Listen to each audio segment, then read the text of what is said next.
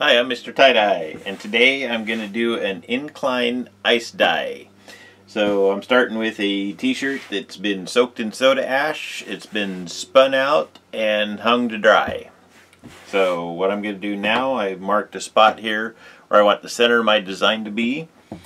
And I'm just going to fold this in half just like I was doing a mandala. We're going to fold it in half, back on itself once, and then back on itself a second time.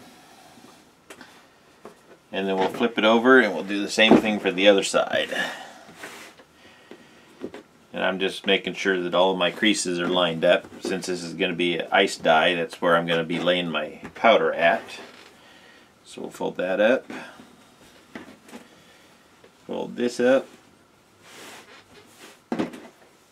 And then just for good measure just to make it easier since I'm going to be putting ice on this and I'm going to be holding it this way. That's an awful lot of area for the dye to soak through. So just for good measure, I'm going to fold just the bottom of that up on both sides. Just like that. And then we're going to get that tied up. But that'll give me a, a nice surface area then to lay my dye into. So we'll get this tied up and then we'll get some dye put on it. That'll be a, in the, the next video here. And I'm just using kite string and I'm not cinching it down tightly. I just need it to stay together. Everything hold itself in place here.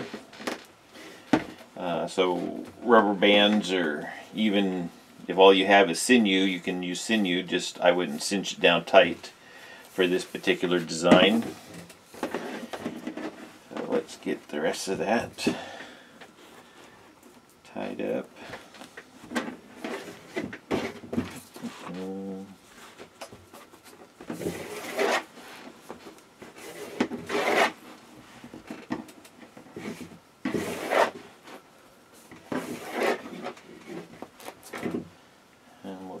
Those tails in a little bit.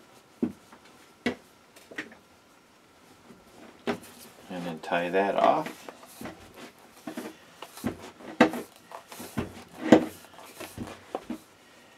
Okay, I think this is ready for some dye. If I can find the end to knot it. Okay, so check back with me in my second video. Like I say, I'll tie this off. But then this here is where I'm going to be laying the dye. Let's zoom in just a little bit here. So you can see I got a nice channel here to sprinkle my dye on. And then we'll get this dyed up. So check back with me.